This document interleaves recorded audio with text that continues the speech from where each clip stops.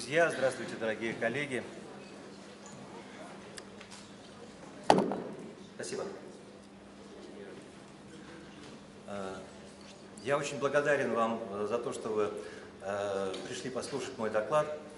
И мне хочется выразить огромную благодарность Володе Майкову за его огромное мужество и силу, которую он проявляет в течение многих десятилетий, неся свет людям словно Прометей. Э, Мне хочется поблагодарить э, Станислава Грофа э, и пожелать ему здоровья. Позвольте начать свой доклад. и Он будет посвящен пермскому звериному стилю. So, В течение my многих, report is about the Уже лет, наверное, более 12 лет, мы с супругой, с Любой, is about the style of the animal. но Вау. Нет на английский, надо переключить на... Они не слышат английский. Switch channel on receiver. Switch channel. Switch channel to one. Those who want to speak to listen to English interpretation, switch channel one.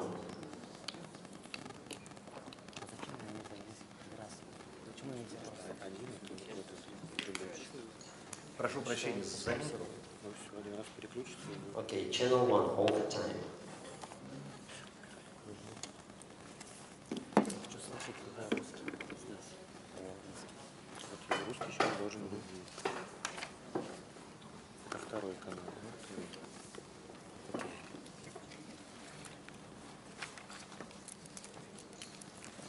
So all the English-speaking people are listening here in my interpretation. Yes, I see you nodding. Thank you very much.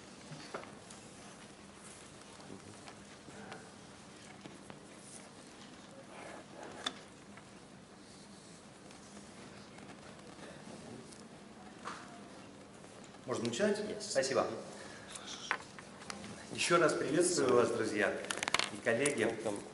Еще раз выражаю благодарность э, Владимиру Майкову, Станиславу Гроху и Тыну Суэдову а, своей супруге, Любови, с которой мы очень много лет а, вместе идем путь э, по трансперсональной психологии, изучая и работая э, с людьми.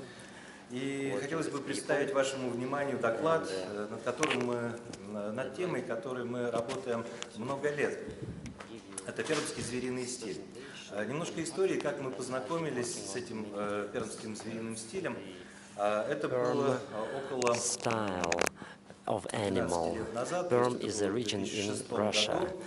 In 2006, in the Russian Historical Museum in Moscow, I started uh, developing this animal style. What is animal style of the region Perm?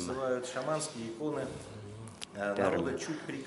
Uh, this is the people of Kama, А, Это Chuprikami. уникальные тексты древних And культурных they have и обрядовых unique традиций, texts которые датируются of, uh, первым тысячелетием до нашей эры и первым тысячелетием нашей эры. As old as А, uh, И это не только бронзовый the сплав first э, 100 древних years of our обрядовых era, текстов, era of- которые запечатлены в сложных и Anna уникальных Domini. образах металлопластики, and uh, this что были language is изготовлены in metal тысячелетия назад, plastic э, um, именно женщинами, icons литейщиками и кузнецами. casted Это сплав manufactured by women, and uh, this is the traditional Eastern, Western, Scandinavian, Skif, Sarmat, and Egyptian influences. And uh, in the fire, these icons were casted человеческом сознании, by в человеческом the fire сердце. and for the fire, for the fire of the Наши human гипотезы hearts. основаны на исследованиях исторических документов, исследований So научных we статей, studied a фольклора, lot of uh, собственных folklore полевых исследований, and обрядов и uh, традиций народов региона different реки Кама, а также literature, археологических открытий texts, and of последних course лет. archaeological Сопоставление с исследованиями findings. эм, этих э, трансформационных текстов Uh, we've been э, searching and studying these transformational texts. So now we understand that this art was a very visionary art of the time, of the so-called animal style. And uh, they, the people must have uh, gone through some almost holotropic experiences to gain this art. This is uh, this psychoplastics, archetypes, in their transpersonal context that we can see on the icons that they created. So why today it, is it necessary to study these icons? Because uh, it looks old and uh, unneeded, probably archaeologists and historians found this, so why is it critical for us to study this uh, art? Because when we speak about Perm animal style and we look at them, how they look, we can see a woman standing on a box. This is old chthonic powers that support the women. They support women. If we play a little bit with the present, with the word presence, present, and we can э, find several meanings of this word. The present is something that has bases, has some support, Э, present, standing on something in the Russian language. So, in the mainstream of today, we can see that there is a split from the bases, from the roots. But this is a seeming split, because, of course, we cannot get rid of our roots. While we are alive, we have roots anyway. The only thing we cannot be aware of them. So we can see that women on this icon, on this art, are standing on some animals. Then present is something valuable. Take it. И Present. третий a вариант – gift. это то, что скрывает And нас, a если мы third meaning is м, something, the э, present is рассмотрим something как that скользящее hides «а» from us. его, то мы э, можем посмотреть на это слово как If нечто there is a secret стоящее behind нас, the то, что скрывает нас от present. чего. Э, in the Russian language, if we change some vowels, э, we will see the concealing meaning. If something is concealed. I will tell you my story, how I got to know this art. 12 years ago, I came to the museum to the collection of terracotta warriors from China. But then we were passing by a stand with these icons found by the archaeologists. What I felt, I was surprised what happened to me. That was amazing holotropic states that I were experiencing when watching these bronze icons, pieces of art. I, didn't, I and my wife were experiencing actually the same feeling. And then for the next three days, we were watching and copying all these icons, and we were searching a lot of data about this pictures. And after the third day, we leave the museum and we come across a wonderful book called the old arts of the Perm region people. Wow, I thought, that's the territory where I live, the Perm region. And we started investigating this issue more detailed this so-called animal style of art of the Perm people. We didn't quite understand what it was about, but it, it was definitely awakening in me some powerful ancient energy that started penetrating my life.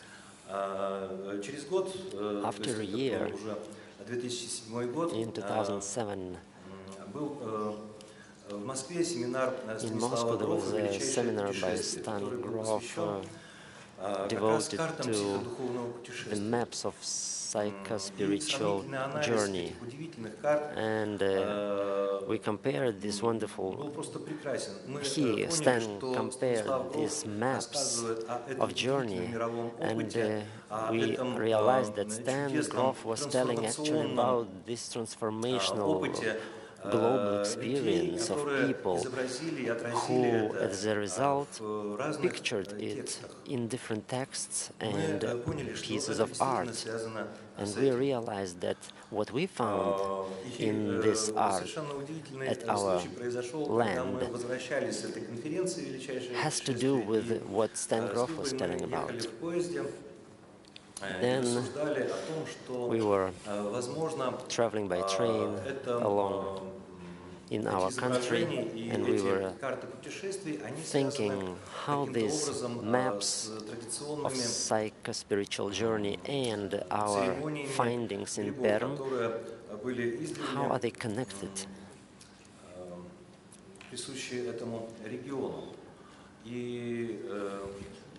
мы подумали, что да, очень важно будет We сходить thought к археологам э, на факультет It would be археологии в very университет и э, пообщаться important с учеными, and которые meaningful занимаются to go to э, our local пермским звериным archaeologists стилем.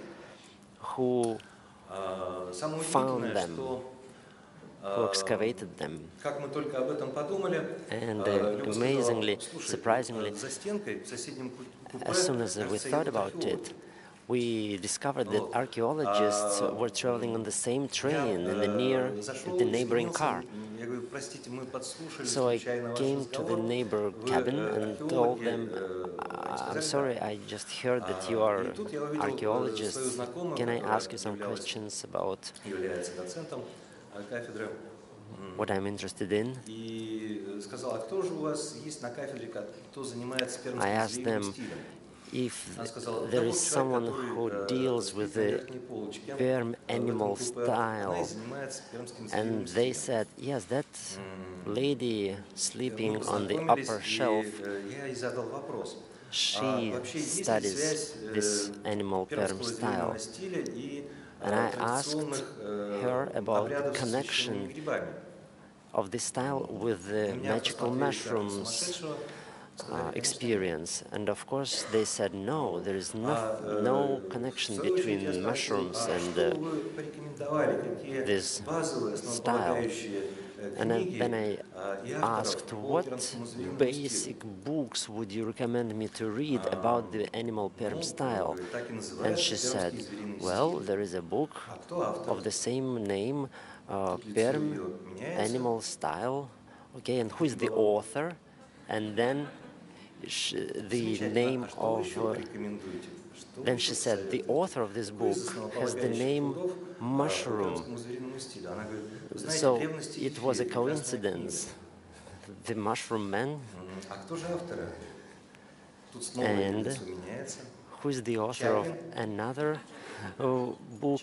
And they said, uh, the another book has author of the same origin as the mushroom in the Russian language. So actually the two authors of two different books about the animal perm style have as a base of their words, of their names, mushroom in their names.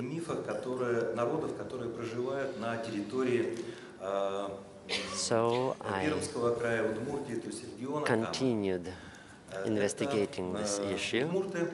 Udmurt people, Komi, Permiak people, these are all the names of peoples uh, around Perm. They all have traditions. they remind as of some people that disappeared underground many years ago. It's a legendary people. And uh, there were a lot of uh, signs and legends connected to some fairy tales in the Russia in the Russian fairy tales.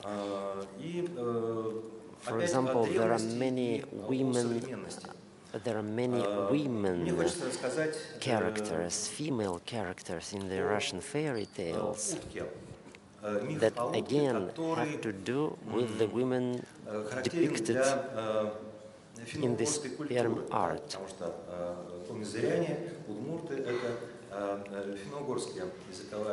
Uh, all these, I'm playing with the language a lot, uh, but this is part of my investigation. And because this language is uh, all about Finn, Ugorsk, or Russian language, it's a little bit different to translate it the play, the game of language into English, but anyway, this is a duck figure. And there was a legend that a duck was uh, hovering over the primal ocean, and that was this plot about world creation. So the duck was hovering, flying over the primal ocean for many, many years uh, until she, the duck, uh, saw its, its reflection in the ocean, and then it attacked the reflection. It flew onto itself to the water surface. surface.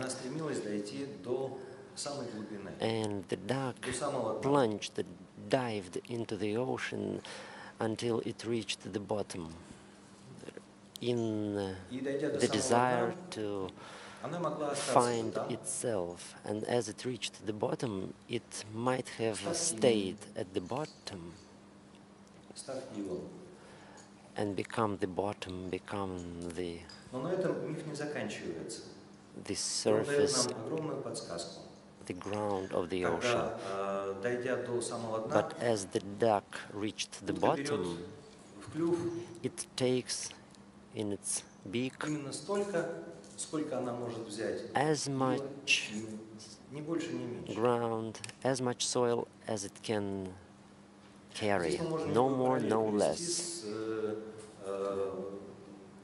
than it, it, it is able to carry. And here I see the parallel to the Russian word truth, Потому что э, считается, что Истина, до truth. истины нельзя долететь. because uh, До нее нельзя it is добежать. believed that we до неё cannot можно только reach the truth, докопаться. И вот дойдя до самой глубины, we cannot fly to the truth, утка берет reach it somehow. столько, сколько она We can может only вынести dig to the на truth, поверхность. dig it, we И say. вновь преодолевая огромное So the напряжение, duck и вновь actually преодолевая dug огромные тол- the ground, the bottom of the ocean, as if it took the truth, it got to the truth. And, and then the duck came back to the surf, surface of the ocean and uh, spits, spits out of her beak this soil from the bottom of the ocean. It's like a rebirth. And from what she spit out of her beak на которой начинают appears произрастать and растения, forms land. появляются животные, First land, люди, first птицы. then of course on this land uh, Все оживает. everything appear, else appears like plants, people, Рассказывая об everything этом gets мифе и alive. проводя, м, линию современности, мне хочется вспомнить э, фильм and um, I want to remember a movie here by the director of Terrence Malick, The Thin Red Thread is the name of this film, and the plots of the film is dramatic. When the young boys kill each other in this movie, young boys from different uh, countries without knowing each other just kill each other because they fight for the islands, for those islands uh, that people on these islands had been living happily there before the war started. And the main character watching this things, contemplates about generals, politicians, uh, about life, and he says,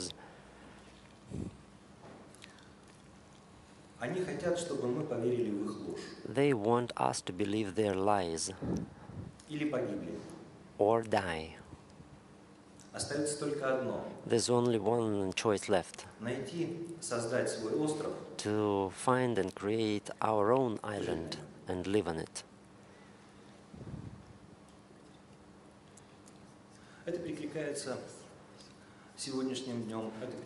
This reminds us of today, of yesterday. This problem has always been that people has been fighting for what doesn't belong to them. When we go across our own psycho- spiritual crisis we reached our bottom, our own inner bottom, like this duck. Some people remained on this bottom to become the bottom of the ocean.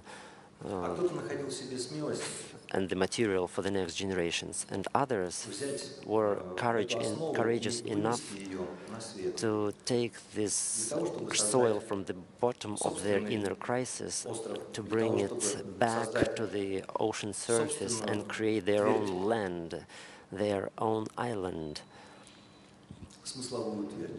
their own firm land of their meaning of life, of their values.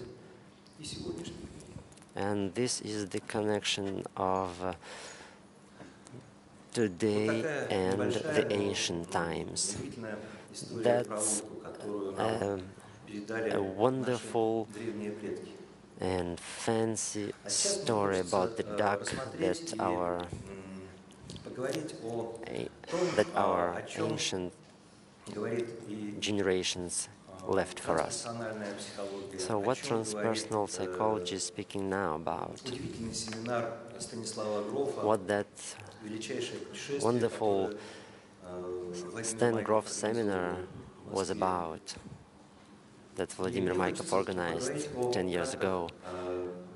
I want to speak about the maps of the psycho-spiritual journey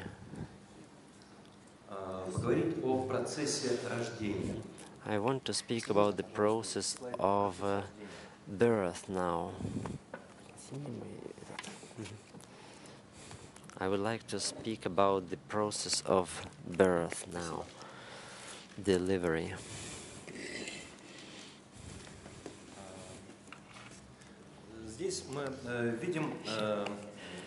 Here we see the picture of um, a man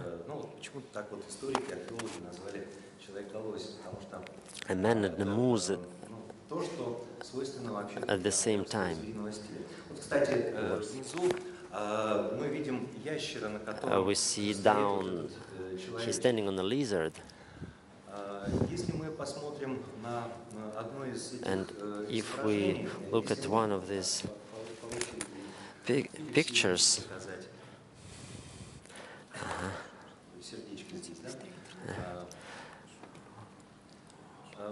what we see here, this animal perm style. Look at this picture. The funny people here, they are called the family. And there are many typical pictures like the families, like this one, found at Kama Perm region in Russia belonging to this animal style. We can see how emotions are depicted here.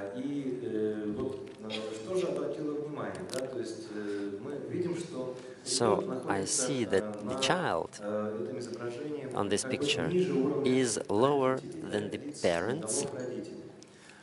We can see it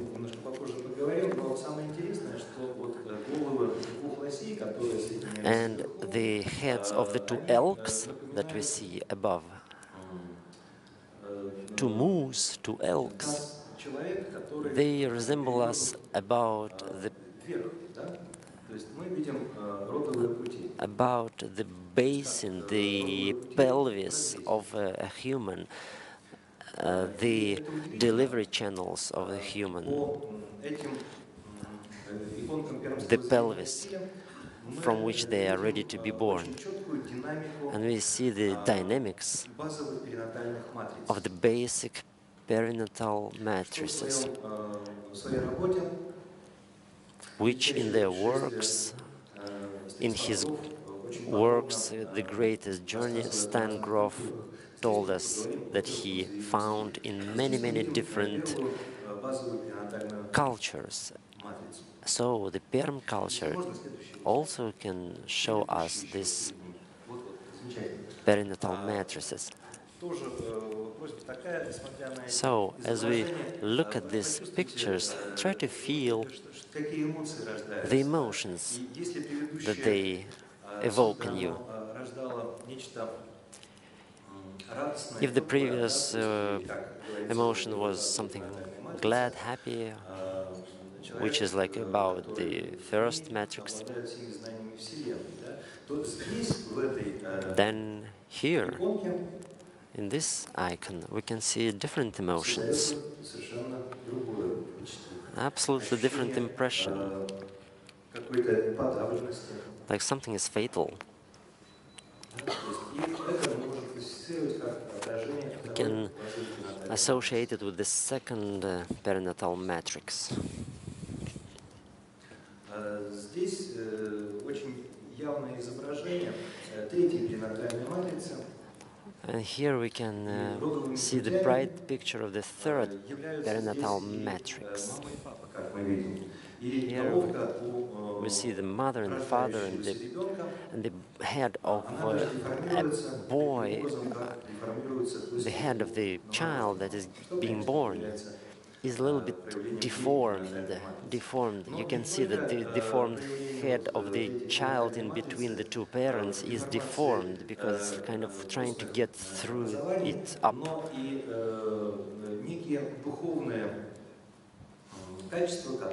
And uh, we know that there are some spiritual qualities uh, associated with, with the third matrix we see that some uh, picture of uh, some picture of a halo around the head appears, and we know that spiritual findings, uh, spiritual connection appears when we speak about the third matrix. And here Alex Grey, the famous art, visionary artist, also shows us about the same the same picture. Alex Grey is showing on this picture that what's above the head, as well as at those ancient Perm arts, we see that above the head we see the ark. The ark is the sign of uh, the birth. The birth of uh, not only physical birth, but also spiritual birth.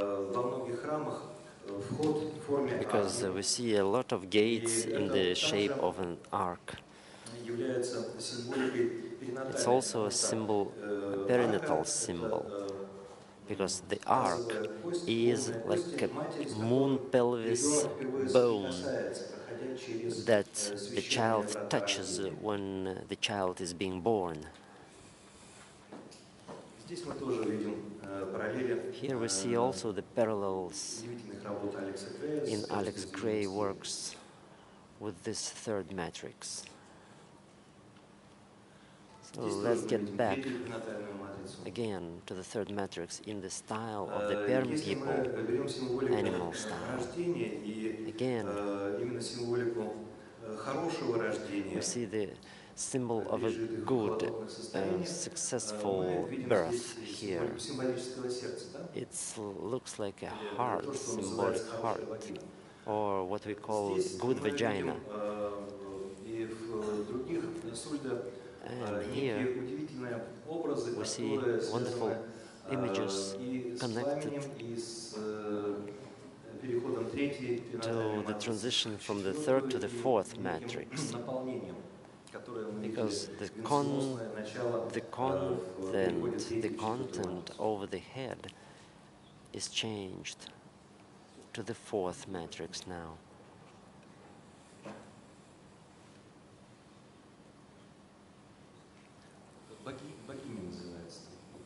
I will show you some last pictures.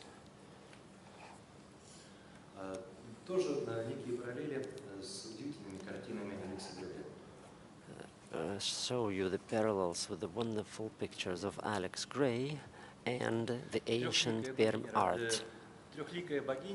The three-faced goddess, deities that we'll talk about. Remember this face now. This is uh, the Russian woman, beautiful woman standing on some box, and this is some big mother. And uh, this is a wonderful picture of the great goddess, three-faced goddess of the Perm people. The analysis of this icon is magnificent because it has the digit 3 and the number 3 and the number 7 here. We can see the third eye, we can see the fingers that are shaped in the Mahamudra. We can see the beaver, beaver that they are standing on. And the beaver the beaver is the symbol of an, an animal that, uh, like a duck, is swimming in uh, some waters, and we see the toes, five toes of this goddess. This is this goddess, great goddess, is. Uh, living in each of us in every one of us. The great goddess that's keep, keeping warmth of our hearts, that's accompanying our life. Thank you for your attention.